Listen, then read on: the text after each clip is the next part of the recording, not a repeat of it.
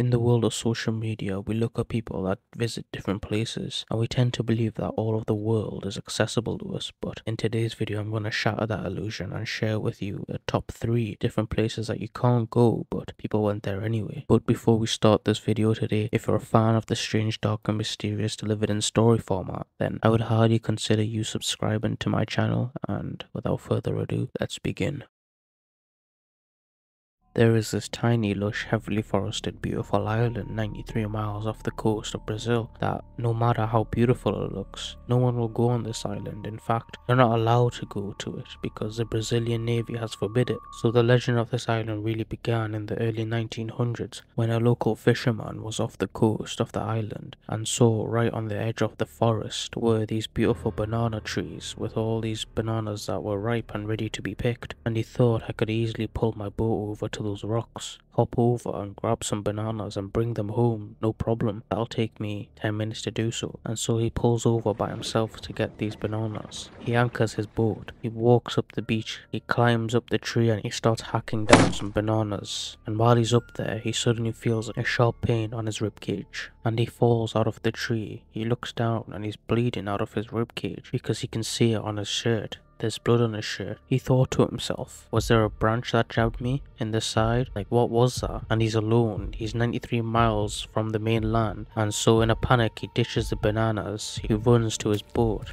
gets it unanchored and starts making his way back to the mainland. But on the trek back, he passes out in the boat. Later that day, another group of fishermen see this boat kind of drifting around some rocks and it looks like something's wrong so they make their way over to it. And there's uh, this fisherman who went to get the bananas, but he's lying on his back and he's clearly deceased and he's in a pool of his own blood. Twenty years after this incident, there was a lighthouse keeper that was assigned to work on this island, and he brought his family with him. They were staying in the main house of the lighthouse, and it was going fine for the first couple of days. They were there, but at some point, captains of vessels that would drive past this island relied on that lighthouse, noticed that the light wasn't on, and so they reported it to the mainland, and a search party was sent out to check on the lighthouse keeper and his family to make sure that they had all their supplies, and that they were okay. When they got to the lighthouse, they find the entire family is dead in their bed, and the only clue they had were these puncture marks all over the bodies of these deceased lighthouse keepers and an open window. So what killed these people? People that went to this island. Technically, they died from a poison that literally melts your organs within 60 minutes of coming in contact with it. But that poison comes from a very famous venomous snake called the golden lancehead viper that only exists on this island. They exist nowhere else in the world, and so this island has been dubbed Snake Island. And since nobody goes to this island, the lancehead viper population has exploded. They are thriving on this island. In fact, researchers say that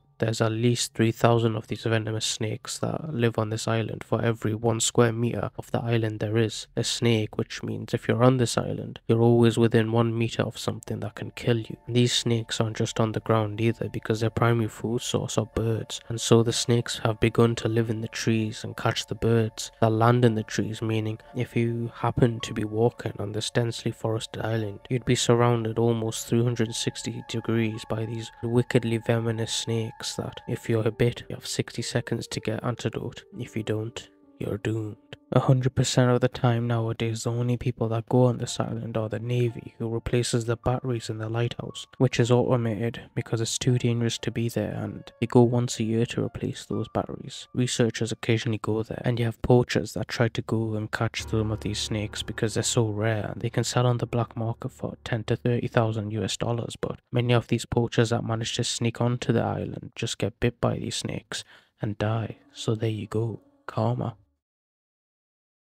In early 1945, during World War II, the British decided they wanted to take back Ramree Island from the Japanese. Ramree Island is a very large total flat island off the coast of Burma that was a great staging location to fly air campaigns onto the mainland. So it was a great airbase and the British had actually owned this island but Japanese had taken it back from them in 1942. And so here they are in 1945 looking to take back the island So on January 21st, 1945, British and India infantry stormed the beaches of Ramree to try to take it back. As soon as they land, they have all this naval artillery support just bombing the crap out of the airbase, and it was just a matter of time before they overwhelmed the remaining Japanese, but the Japanese do not want to surrender, and instead they give up the airbase that they were on so the British take that back, and the remaining thousand Japanese soldiers just start retreating to the opposite end of the island to where there was a larger battalion of Japanese soldiers that they could meet up with, but the only issue with this particular retreat was they would have to go through 10 miles of mangrove swamp where there's poisonous spiders and insects and deep mud, making it almost impossible to move, but they're determined and they head off into the swamp. But what the Japanese were not ready for is what Ramree Island is famous for, a creature that makes poisonous snakes and spiders and insects look like child's play, and they were walking directly into its den.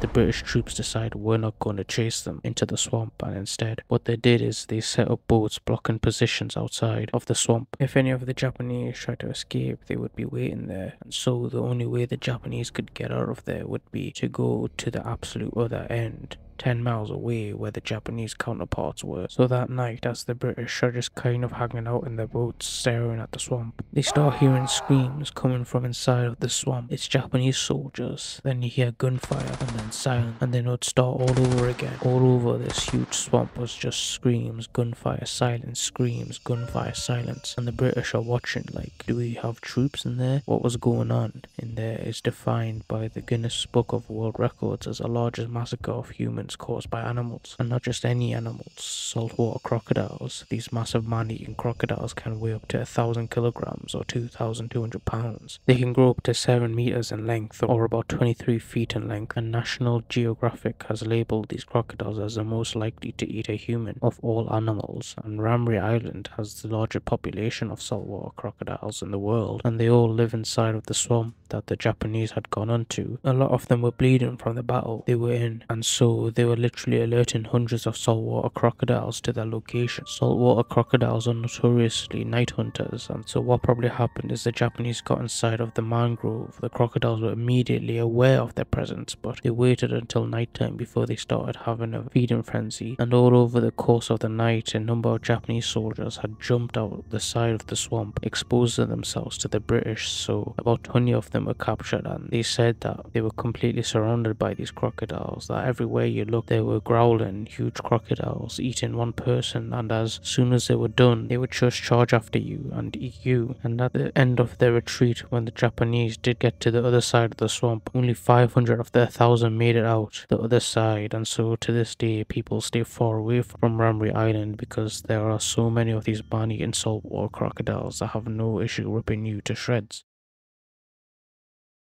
On November 14, 2018, John Chau hired two fishermen to take him out to this little island in the Indian Ocean. The fishermen were not excited about this, not only because it was illegal to take him out to the island, but because the last time some fishermen had gone to this island, they had both died but the fishermen needed the money so they went with John and they drove under the cover of darkness to this island and they anchored a little way offshore the next morning, when the sun came up, John asked the fisherman to take him in a little bit closer, but the fisherman refused, so John puts a kayak in the water and he begins paddling into the island. And as he gets closer to the actual beach, he sees someone coming out of the forest who has a face painted yellow and they're screeching at the top of their lungs. And John yells out that he's not threatening them and he just wants to come ashore and talk to them. And then a wave of people with yellow painted face comes charging out of the woodline and starts firing arrows in his direction direction, so John in a panic turns around and paddles right back out to the fishing boat. Later that day, John tries to make another attempt at landing on this island and communicating with the people that live there, so he takes his kayak. He goes down a little bit further away from where those people had emerged from the tree line earlier in the day and shot him with arrows. He figured he was a little bit farther out of the arrow range. This way he lands his kayak.